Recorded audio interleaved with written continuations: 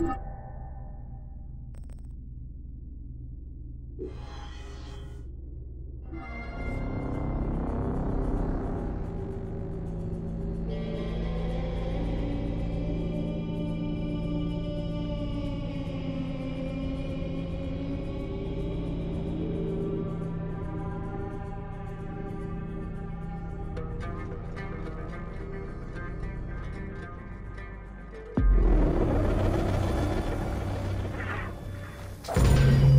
Welcome to Evolution of Pottery in Ancient Egypt.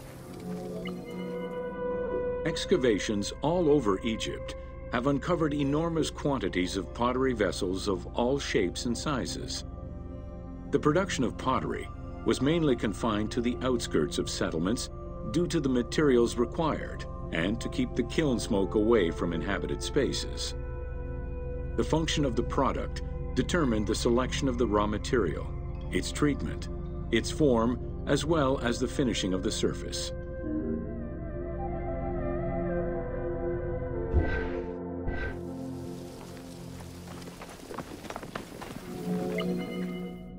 Pottery was essential to ancient Egyptians' daily lives.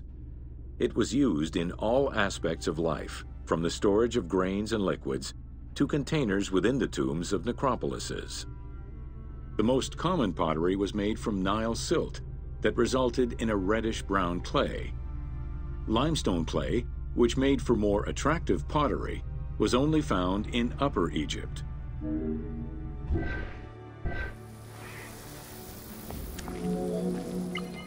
Early pots were made from pinched or coiled clay.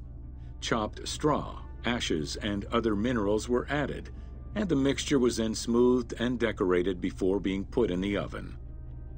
Pots were fired in bonfires or enclosed within a brick kiln.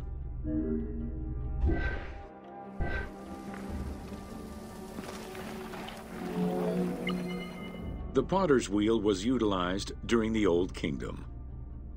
Pottery became smoother and more polished, similar to river stones. It was decorated primarily in red pigment, with the black color achieved by exposing it to smoke. Pottery workshops were attached to palaces or temples, and around the late period, specialized workshops began to appear.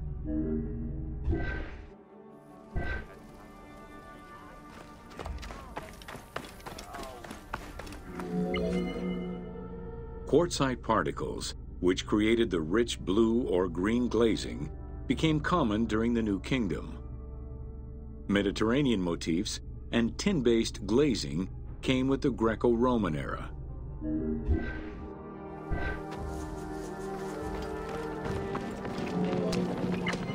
Potsherds could be found anywhere and were the most common canvas for writing or drawing, in comparison to the more expensive papyrus sheets. Named after their Greek description, ostraca contained daily life records, letters, or could be drawn upon. Artists drew sketches for temples and tombs, or simply for leisure.